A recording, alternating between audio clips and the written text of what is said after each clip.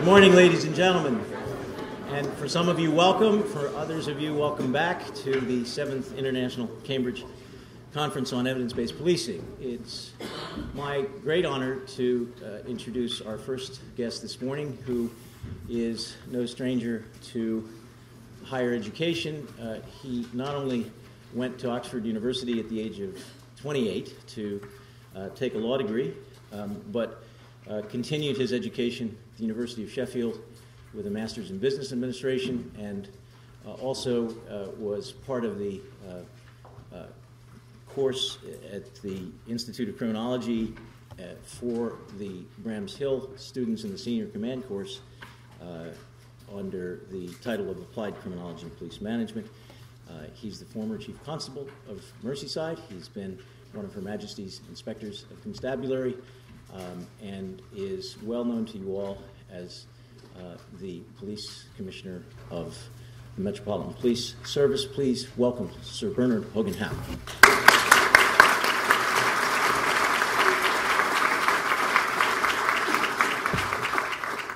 Right, good morning, everybody, and uh, Larry, thanks for the introduction. It's after an introduction like that, you think that uh, is he good at nothing? Is, it, is there anything that he's only good at? After a long list of what you might have had a go at, um, it also makes you feel a bit old, actually, which uh, I'm going to try my best to uh, challenge that notion today. Um, first of all, thank you for the invitation to speak. Uh, great audience, great location, uh, great institution of learning.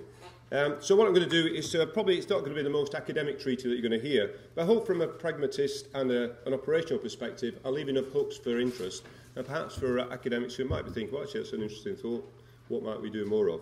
Um, we're doing quite well, I think, in London and in the Met. Uh, we had a, and usually from News International, we had quite a good Times editorial yesterday, saying that some of the things we're doing uh, are working. I think that's the first time in about five years that we've seen anything positive in News International. I can't think why.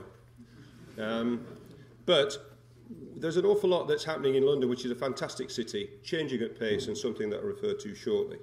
Um, Larry's been kind enough to invite me to talk about the, uh, the Met. Uh, and I want to say that, first of all, I don't want to claim that the Met's got the monopoly on any good ideas. Um, we're eager to learn from colleagues, we're eager to learn from anybody uh, who has good ideas, provided, as you know, in terms of uh, integrity, we attribute those ideas. So the main thing is it's our job to cut crime and catch offenders and help victims. That simple motive uh, has stuck with us ever since Peel uh, was around and is something that remains uh, our guiding principle even now. But I do want to share with you some of the new ideas we're trying in London to achieve these aims uh, and in the ever more complex landscape of policing a major metropolitan city. Uh, London is growing at pace. Uh, we've now seen a million people arrive over the last 11 years. 25% of the population growth has arrived in London, and by no means is London account for 25% of the population of the United Kingdom. So London is perceived as a safe environment in which to grow, uh, either by business or by people who want to bring the children here and make sure that they're kept safe. We do have challenges, and in that, uh, in that environment, it's vital that we innovate and it's vital that we do have new ideas, because if we carry on doing these things the same way we always have, we will not succeed. Um, we already have, on top of the complex environment that is London, we have to find savings as the rest of the public sector, in our case about £600 million. Uh, we are doing that. We are uh, cutting our estate by a third and taking the half a billion capital receiving and investing the two-thirds of the estate that we are keeping. We are losing 3,500 of our police staff. Uh, we're also reducing the number of managers, so that instead of being the most managed service in the country, we will be the median of the 43 forces. What that allows us to do is to keep 32,000 cops. So despite the fact there's been a 15% reduction in grants, we will find those savings and invest in the front line, not just to worship the police officer numbers, because that's the business we're in. The police officers are the people who do the job, uh, supported by their police staff colleagues, but we have to have that core element, particularly in London, where we need vast reserves of uh, officers from time to time, to do with protest and many of the other things where from time to time we put thousands of officers into some of the major demands that we have. If you recognise any of the ideas today as your own, please don't heckle too early. We can discuss it later. But it is, uh, it is important, I think, to attribute when, where uh, that's appropriate. So not all the ideas will be entirely new, but they will be new to the policing of London. And I'd just like to talk a little about those now. Um, The Met is a huge organisation. We have about 96 units. We have nearly 50,000 people uh, and we're spread right across London. Uh, we have two thirds of our resource in territorial policing in the 32 boroughs, which are 32 basic command units. Um, and what that means is that we, uh, we have to manage a complex environment through managers in a way that uh, is quite difficult just to communicate with those managers. Last week we had about a thousand of our managers together uh, just to share with them what we're doing and what we're about to do next. We do that every year. In the preceding three weeks, we had the 8,000 uh, sergeants and inspectors together in groups of 500 to do a similar thing and to share with them some of our ideas.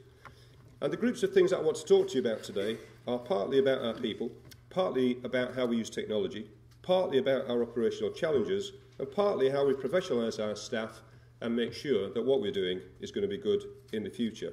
It'll take around 20 to 30 minutes, uh, and if I'm going over, I'm sure Larry will start to twitch. And if not, the rest of you will. So I will notice. Uh, and I know it's quite warm in here, particularly I suspect at the back. So I'll do my best to, uh, to keep it as lively as possible. The Met is well placed to experiment with new policing because the force in many ways was an experiment itself, of course. In 1822, Sir Robert Peel was appointed as Home Secretary. And while social historians are divided on exact crime levels at the time, there is a poem from that period that perhaps gives us a taste of the feelings on the street. So I'll read you just an extract, and it's from Ways of the Town. It says, Prepare for death if here at night you roam, and sign your will before you step off for home. So I suspect that people weren't too, feeling too safe as they wandered around the streets of London. It's hard to imagine the fear of crime and lack of public confidence being expressed, I think, more clearly. London was, historians agree, a dangerous place to be. What little, place there was, what little policing there was in the form of unpaid parish constables or watchmen was widely seen as inefficient and, at its worst, openly corrupt. When he came to office, Peel set to work at once by setting up and chairing a select committee to review London's policing arrangements. Peel's innovation, so familiar to us now, yet so radical and controversial at the time, was to standardise policing into a paid profession, organised in a civilian fashion and answerable to the public.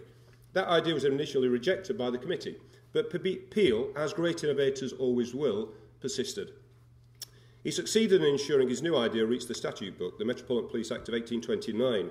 That gave authorisation to establish a single service covering an area of then just seven square miles, which then grew into the organisation we, do, we know today. London now is about four times the size of Paris and four times the size of Rome. By any standards, a huge international city. And at the same time, Peel was reforming the criminal law by drastically reducing the number of crimes for which you could receive the death penalty. Uh, a Peel-led change which saw the number of capital crimes on the statute book fall by two-thirds, believing that it was prevention through professional policing that would cut crime rather than the spectacle of a man being hung for theft. He was right. Peel's new police was an outstanding success. As London's population grew by a fifth every decade, crime still fell dramatically. A forward thinker indeed, and in the Met, I'm committed to the tradition of change and innovation that created the service that I lead today. One of the things I want to talk about was in terms of our people and recruitment and development. Peel's most often quoted principle is that the police are the public and the public are the police. Perhaps the first policing innovation then should be to look at exactly what this means in today's world and rethink who we are and how we structure our police service. Robert Peel's re- police recruits had to be male, under 35, in good health, strong, and at least 5 feet 7 inches tall. Typically, at that time, they were from a military background. And that persisted for an awful long time. There is a need, however, for change, and of course, over time it has changed, but it's taken many years of incremental progress. Equal opportunities for female officers were achieved at a shamefully slow pace, and the first uh, BME officer did not join the Met until 1967. Londoners today need a highly skilled, trained, motivated, and professional workforce that understands and reflects the people it serves. The Metropolitan Police Service needs to look and feel like London in order to meet its needs and maintain its trust. As London grows and changes, the dynamics and demographics of the city do develop. We cannot just do things as we've always done and hope that we will keep pace. If we do not adapt, we will be left behind. At the moment, we employ, as I say, around 50,000 people. We have good representation in three groups of those people. We have, uh, in terms of our police staff, about one in four are from minorities. In terms of our PCSOs, Police Crime Community Support Officers, one in three are from minorities. In terms of our Special Constable, one in four. In terms of police officers, it's nearly 12%. That's increased drastically over the last 10 years, but it remains true that there is a significant underrepresentation compared to the minorities within London. The first three groups out of the four essentially are Londoners. But we recruit police officers from all over the country. That's not a defensive state, this statement, just a, an accurate statement of fact. We're in the middle of recruiting about 5,000 police officers. 40% we are taking from London. Of that 40%, 30%, one in three, are minorities. So we can attract good, able minority candidates. But two thirds are from outside London, where the representation is nearer to 10%. So that impact is a massive one that we are having to consider in our strategies as we go forward. And I need a workforce where 40% of officers we recruit are from BME backgrounds and a majority from London. But in real terms, how will we do this? First and foremost, we cannot do things because that's the way we've always done them. We need to be decisive and we need to be bold. This year we are starting with the London res- residency criteria. For those in the audience who worked in the Met in the past, that has been available before. It's been defeated at times by people developing postal codes within the London area. But we are going to give it a go from August. The legal advice on whether we can do that is equivocal.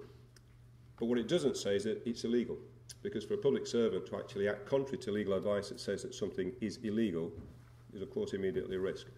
But where it says it's equivocal, we are prepared to take that risk. And in order to recruit constables with a true understanding of the city they serve, we will no longer offer new recruits travel concessions from outside London.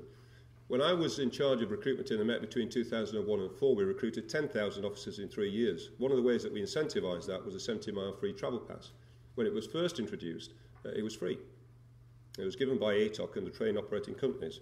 By the time uh, 10 years had passed, it was costing the organisation £26 million a year.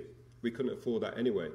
But the principal reason we're removing the free rail travel, which was intended to help people to live where they could afford to buy property, is that we intend to incentivise people to live in London, and the free rail travel incentivises the exact opposite. So for that reason alone, we think it's important that we change that particular uh, offer. And the introduction of a residency criteria, we believe, will make a significant impact. Although it could cause a challenge in terms of the number of recruits, we're aware of that. But I prefer the risk of failing to hit a a target number than I do of having a lack of representation for the next 20 or 30 years. In terms of minority candidates, we've commissioned research to understand the drivers behind decisions within minority communities on whether a career in policing is for them, uh, and we are developing our marketing campaigns accordingly.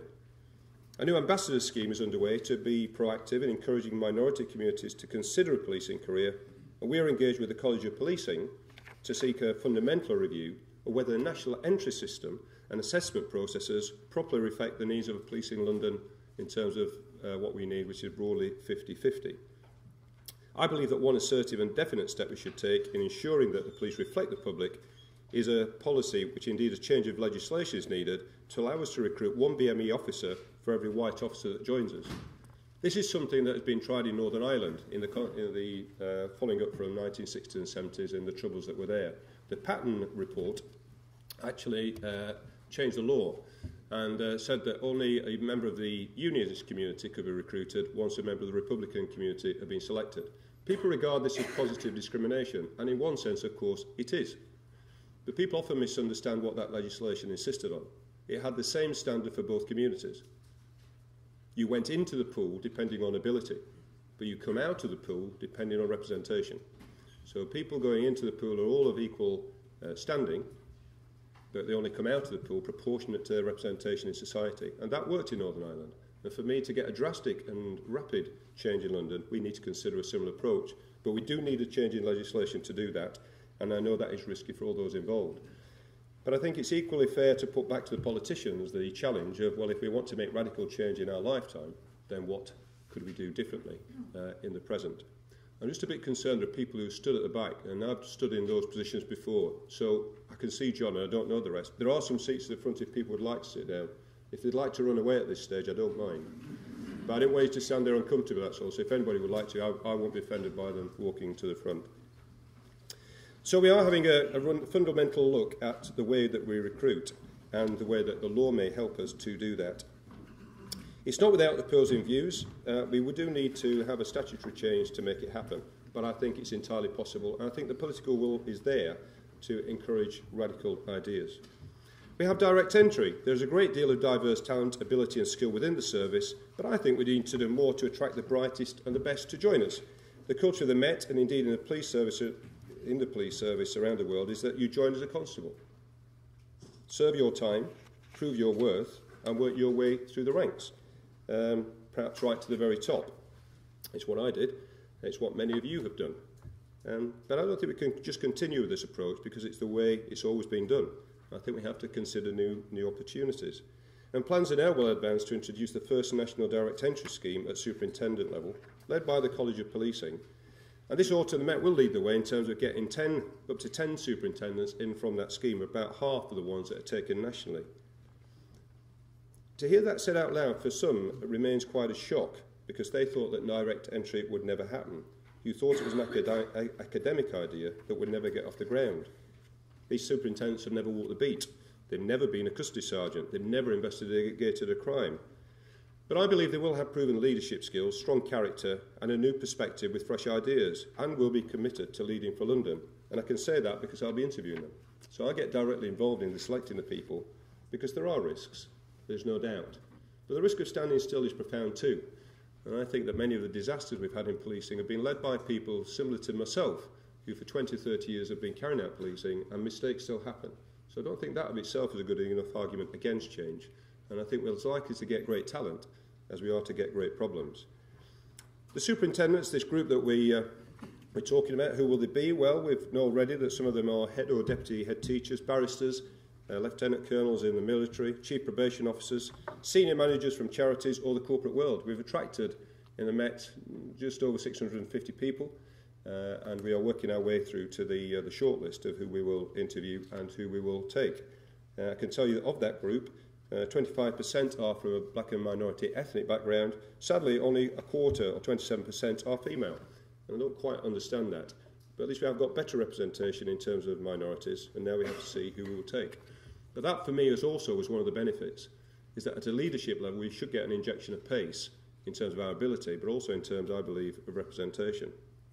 So following an intensive training period, these superintendents will be fully deployed in London by April of 2016, so around 18 months. And I look forward to working with them. I think that uh, we will learn lessons in the training of them, and the lessons that we learn in the training of this group of people will apply to the people who arrived and stayed with us for 16 years. I guarantee that the lessons we have to put together for that group, the new group, will transfer to the older, more traditional route, because we will not have thought our, our processes through in the way that probably we have to for this group in particular. Uh, graduate entry and fast track. Alongside them will be a cohort of graduate entry officers. Met has recently completed two specific graduate recruitment campaigns aligned to the National Fast Track PC to Inspector programme. Uh, in the first group, I've met both groups now who we've taken. First group, we had 3,000 applicants at a rate of a uh, grade of 2-1 or above, and we took around 114.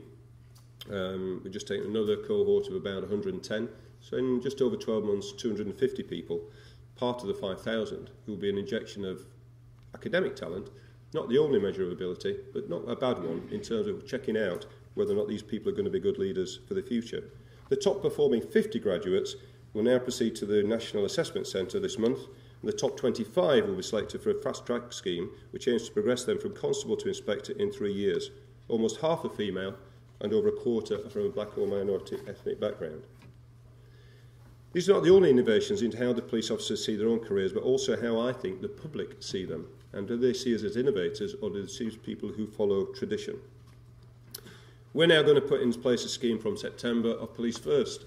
This is meant to mimic in the UK something which is Teach First. So Teach First is an opportunity for uh, graduates who may not be think, may not be sure about a career in teaching, who have a two-year contract, enter teaching, see whether it works for them and their employer, and they may stay but may not. And if they leave, then there is no bad feeling on either side. Uh, we're starting a police first scheme along similar lines. We know in Teach First, two thirds of the people who joined teaching stayed.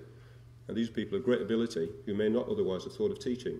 We want to see a similar approach for policing, and we intend to take about 115 people this year, which I think will be a great help. And we'll see exactly how it, uh, it pans out. It'll be launched at a central uh, London event uh, in September of this year, and so we intend to take the first cohort next year because this is the group of graduates who are leaving, undergraduates thinking about leaving in next year's finals. So we need to get our investment in, the milk round now. They also will undergo a, high, in, undergo a highly intensive training program, which will be to a gold standard in police training, and will be deployed operationally in autumn of next year. So we're about 15 months away from that group of people starting and making a difference in the future for the Met. The participants will develop their leadership skills in the toughest of environments, with the public and with an organisation which is facing challenges every day, policing one of the great cities uh, of the world. The market leader in graduate careers research has reported that 61% of final year students surveyed said that police now could make them more likely to consider a policing career. So it's an idea it seems to have attracted quite a bit of interest, and now we'll have to wait and see the quality of people that are delivered. And that interest is maintained across the demographic groups for BME final year students, where that figure is 66%. So BME graduates are more likely, by a small minority, um, to actually be interested in this scheme. And graduates are telling us that leadership experience, employability, and a desire for a challenge are the key drivers behind this. So I think they're going to be interesting days as we look forward. What we know is that many children dream of being a police officer, but not everybody follows through. So hopefully this will capture a few of those people who've that, had that uh, thought and that dream. I want to talk now just for a little about technology. Uh, we've come a long way from the truncheon rattle and having to use a blue telephone box to call for help. I'm sure there's nobody in the audience who remembers that. Even I don't remember that. And under our Total Policing Technology initiative, we have broad plans that will enable us to stop crime, arrest offenders, and help victims more effectively. We'll always be a people business, but I think a professional army of people uh, equipped with great technology will make them far more effective and far smarter. You remember earlier I said that we are losing 600 million pound of revenue, but we are gaining half a billion of capital. And we will invest that capital in two things. I've said two thirds of the estate we keep, and the one, the IT that uh, we need to invest in. And that will be well over 200 million pound in the coming years. Now, I think that mobile technology will allow our officers to take crime reports, secure evidence, and send advice directly to victims, which will mean we can achieve far more during our initial contact, keep them out on the street, and stop them coming back to the police station. Because that's the place that we need them to be to provide the service to the people of London. We're uh, piloting at the moment five to 600 uh, iPad minis to be carried by operational staff. The full rollout of 15,000 will, will have happened by the end of the next 12 months. This will allow us to do all the things we need to do, particularly for our uniform officers, but not only our uniform officers. And I think once we have the iPads in the hands of the officers, we'll see great innovation.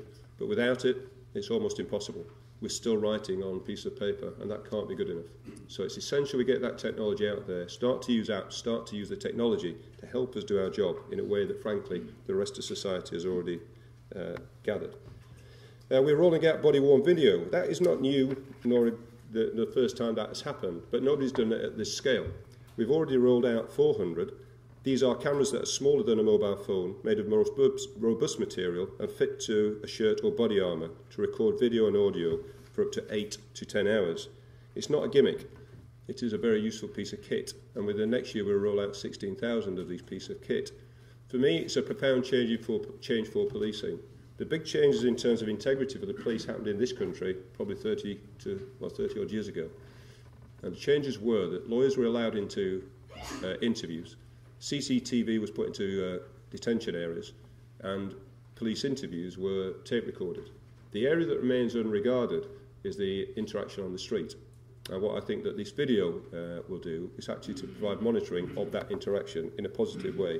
How helpful it would have been in the shooting of Mark Duggan, now three years ago, to have had an account by a video of what happened.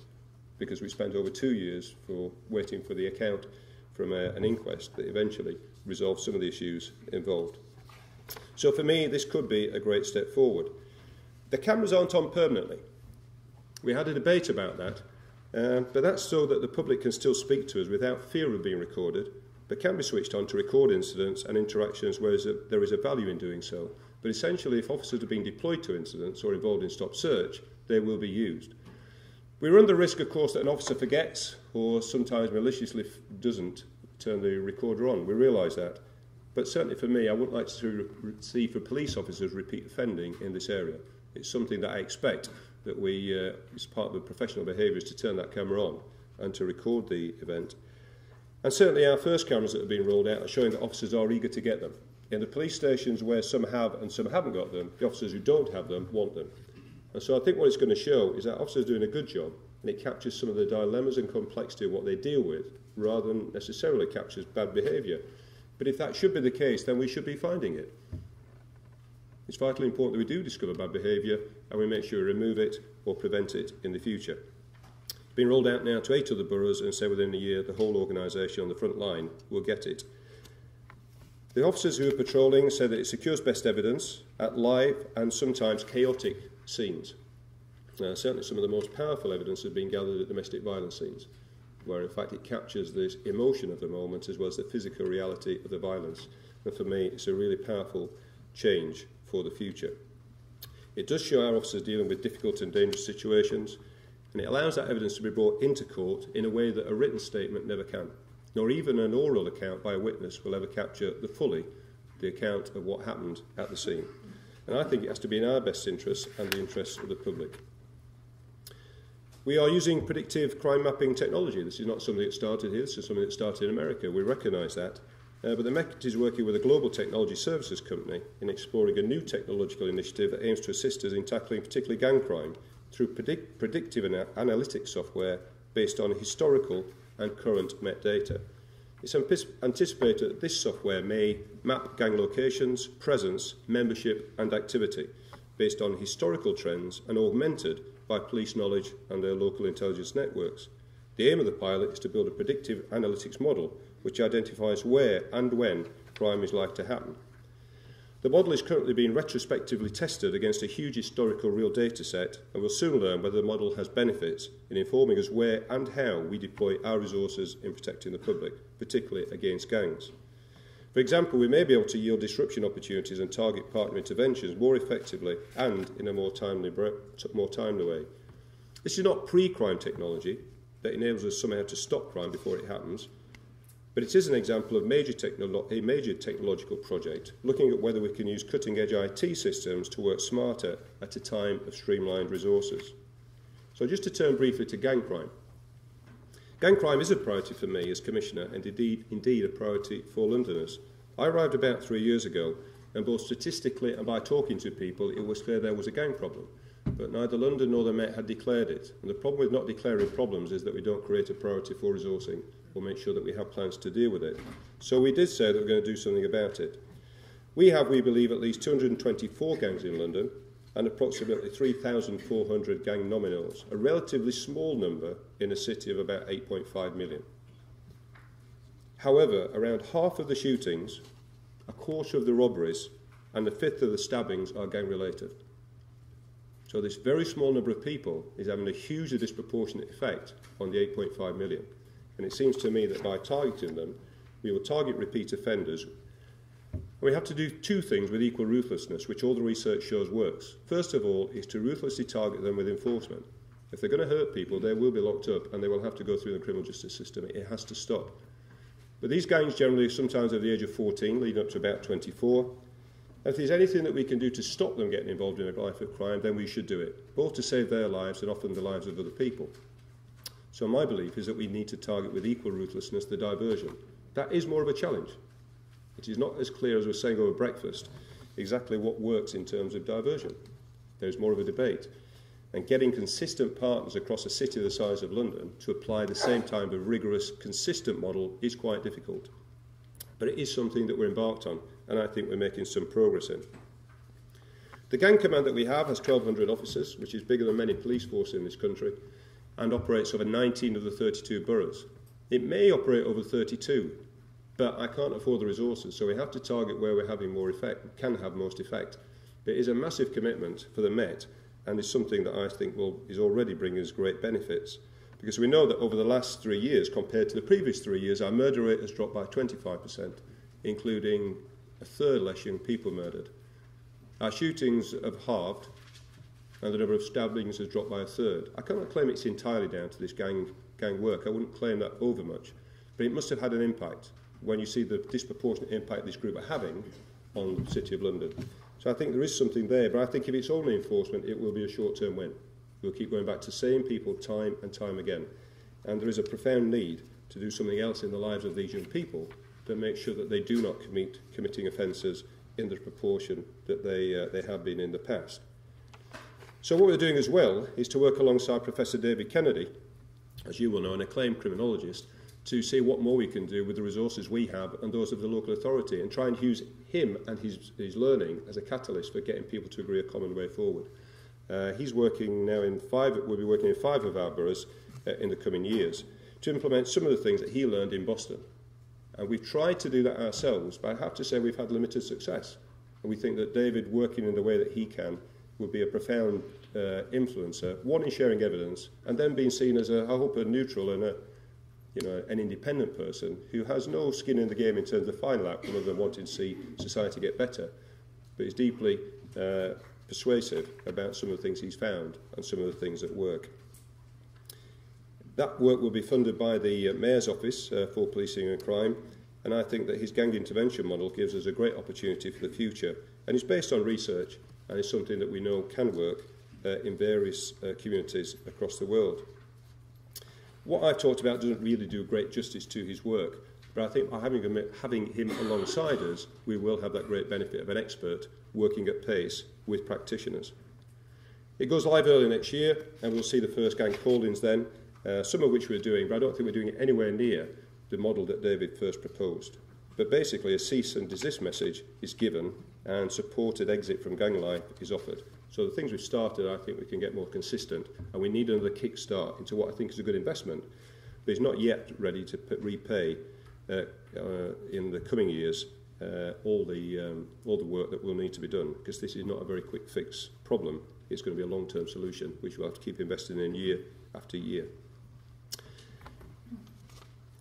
Really, essentially, this is about a credible law enforcement mes message coupled with that offer of help if people should need it. And at the same time, we're improving our gang uh, nominals matrix. And this is a data set that tells us who are our most high-risk gang nominals and informs operational action by ensuring we share information as fully and effectively as we can with partners in prison, probation, education and health. And that is not always as straightforward as it may appear. So some of the lessons we've learned over the last couple of years is we've got to go back to the original idea and make sure that we evolve it and don't grow complacent with our first start. I'm going to mention another operation that we've, uh, we have in London, though I started in Merseyside. We've now seized under our Operation Cubo uh, over 100,000 vehicles that uh, are, were uninsured vehicles uh, in London, which is a massive number of vehicles. And the reason we seize them is for a simple rubric. First of all, we know that 70% of the people who drive uninsured vehicles are criminals. And that group of people are five times more likely to have a collision. And if they have a collision, they're nine times more likely to have a serious collision where serious injury follows. So these are a really interesting group of people. And what we found is that by seizing that number of vehicles, we inhibit criminal behaviour and we improve safety on the roads. We have the nice benefit that we can sell the cars if they don't insure them, and we can crush them if we can't sell them, and then we sell the scrap. And that's given us a few million pounds over the year. But we don't do it for the money. we do it because it inhibits the travel of criminals it shows the public that we're doing something. And it's a tactic that's working right across London, has also led to uh, decreased uh, insurance premiums for all the people of London, because of course all of us are subsidised the people who have no insurance. But this is not just an attack on people who drive cars, this is an attack on people who commit crime. So the principle that we are establishing is that frequent offenders group together in uninsured cars, and that then our target is to make sure that we go out. For officers every day to do it, but then twice a month, twice in 28 day period, the whole of the Met goes out and looks for uninsured cars. We sometimes use ANPR vehicles, we sometimes use intuition, doesn't really matter. We just find the vehicles which are uninsured. It's one of the best indicators where, say, criminals wander around the street. So we found that, in fact, this works and that uh, makes a real difference in terms of general crime. But I mention it as a thought of a simple tactic that attacks repeat offenders who gather together in repeat locations called a vehicle. We've done an awful lot of work around stop and search. It's a real challenge around the world, stop and search. You're not just in the capitals of the great uh, countries, but right across the, uh, the world, we find that stop and search is a tactic that can damage community relations, often with minorities. And you see the same issues in New York, you see in, uh, over in the Far East. It's a, it's a real challenge for the police to get this right. And in 2012, I decided to change the focus of Stop Search and to make it more intelligence-led and effective, targeting its use towards those crimes that really mattered to Londoners and emphasising the need for respect and communication. What I discovered, though I'm not sure anybody had realised, is that in 2011, prior to the riots and in the preceding year, the Met had stopped or stopped and accounted nearly 1.3 million people in each year. Well, bear in mind at the time that there was only about 8.3 million people in London. This was a huge number. And they were the ones that were recorded. Now, of course, they didn't stop one person once. Some people were stopped multiple times. And what worried me, I can't say this caused the riots. We never had a public inquiry to properly establish what did may have been an aggravating factor for the riots. But both statistically, that's a very big number. And by talking to families who was, were angry about their kids being stopped, who had never committed a crime and probably never would, they didn't mind it once. They could live with twice in a month. But four times in a week, what was that about? And so for me, it had to change. Uh, the numbers were massive. It appeared discriminatory and it appeared indiscriminate. So for me, those were big reasons why we had to do something different. And I have to tell you, at the time, it was quite risky. Because, of course, it is perceived that stop and search stops people stabbing each other or shooting each other. And if I'd stood here now, and in fact the statistics I mentioned earlier had gone the wrong way, more people had died, more people had been stabbed, I, I guarantee that people would say the cause of factor was less stop search. Um, but I knew that we had to do something different to maintain the support of the people of London. So over the last uh, two years, since we did all the work to get the training ready and make sure we got it right, uh, we voluntarily reduced the use of the Section 60 stop search power. That's the power that gives a blanket power with no grounds in an area declared by a police officer. And they'd grown a little like confetti around London. They'd followed years where we had a SUS law, years where we had a Section 44 of the counter-terrorism law, which provided us random stop search right across London, and they were succeeded by Section 60. And uh, we've now reduced those Section 60 stop searches by 92%. This is a profound difference in terms of the way that we police. And actually, ironically, we can now police the number of Section 60s we have, whereas we couldn't in the past. There's no way you can retain in your mind where these areas are, nor the number of people you should be stopping in them. So that's made a real difference. We've also seen a real difference in the overall number of Section 1 stop searches, so that over the last two years, we've reduced the number of stop searches by 40%. This is a very significant number. We've decreased, or we've increased the arrest rate from the stop searches from below 10% to nearly 20%, and we've halved the number of complaints. Because first of all, we did an awful lot to target the stop search in the right place, and then secondly, we did an awful lot of work, and there is more to do about the officer's interaction with a member of the public to make it a respectful interaction and not one that causes problems rather than prevents them.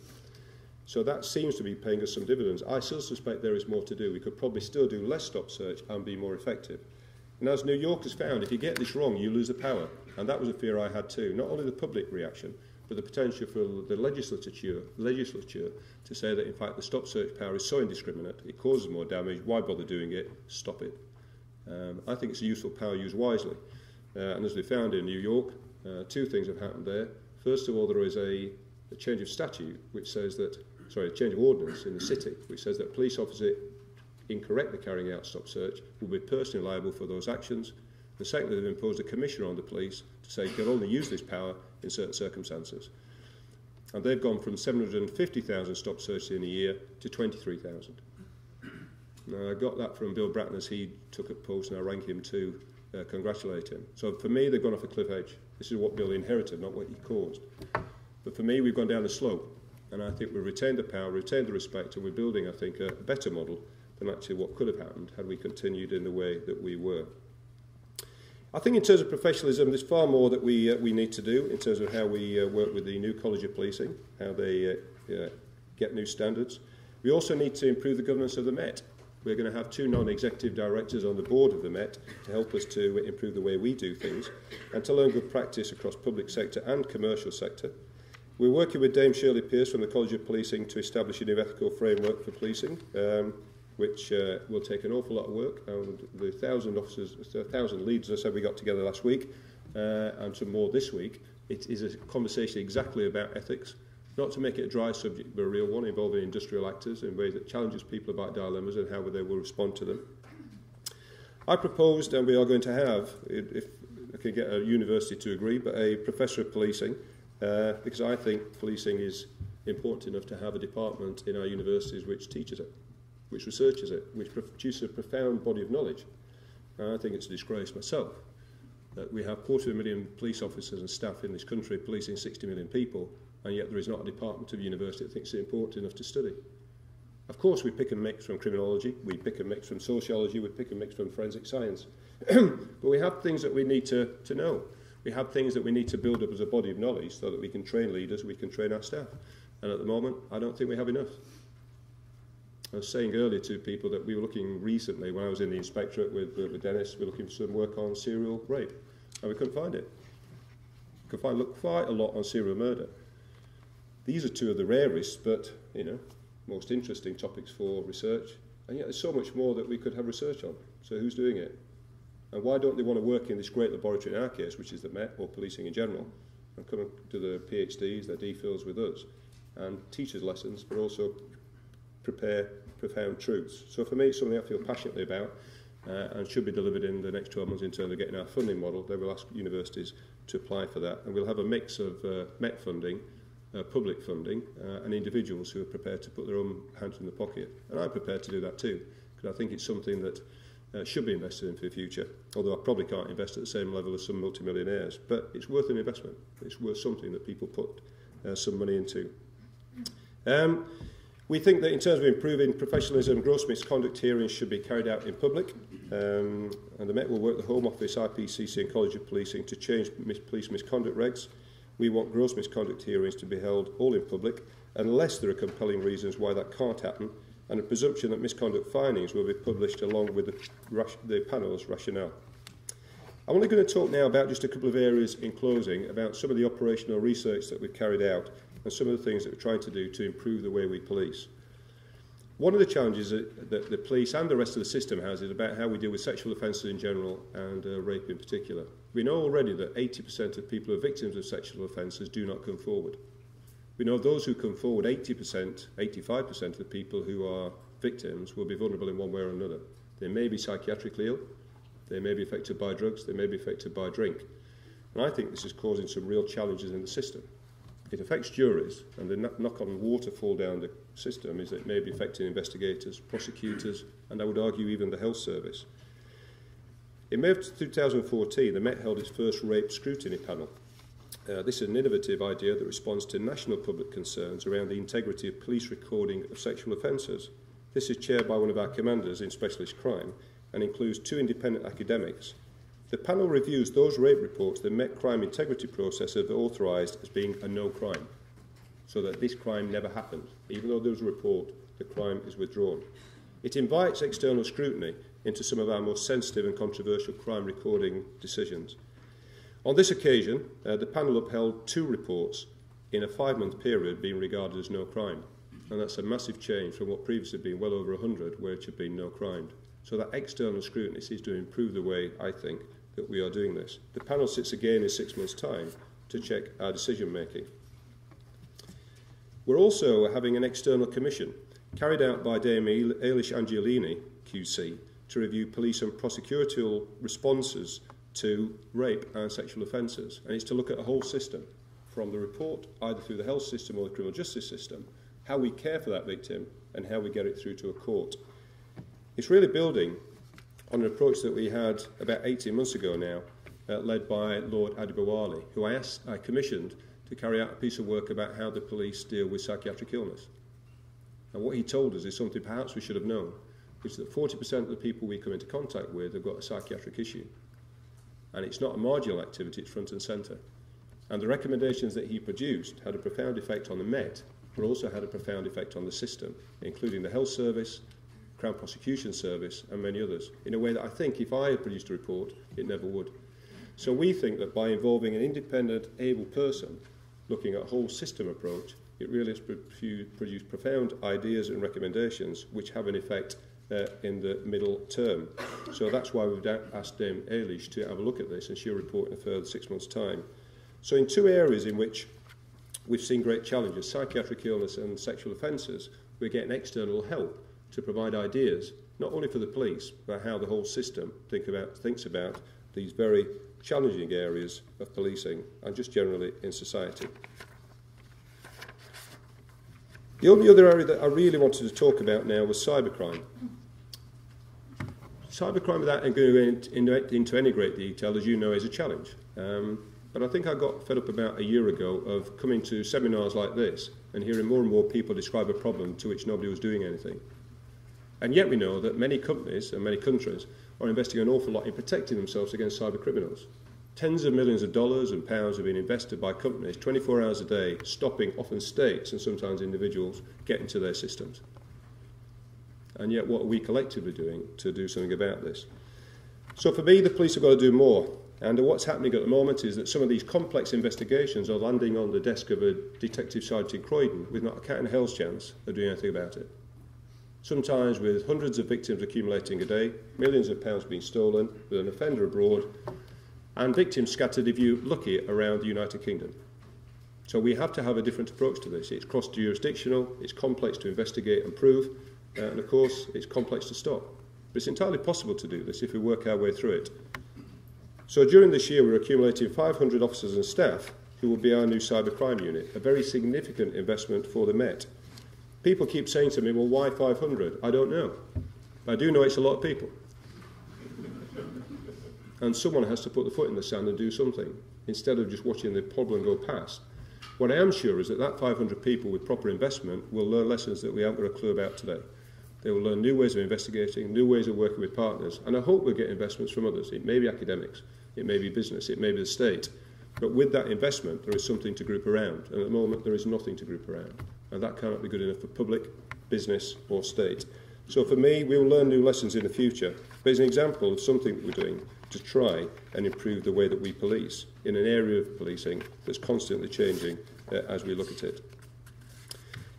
There's not an awful lot else I, uh, I really wanted to talk about, uh, other than to say that I'd like to return to my original thesis is that you know the, the Met is changing at pace. London is changing at pace, which means that we need to have new ideas and new ways of doing things. I've tried to sketch out some of the challenges, excuse me, and also some of our responses.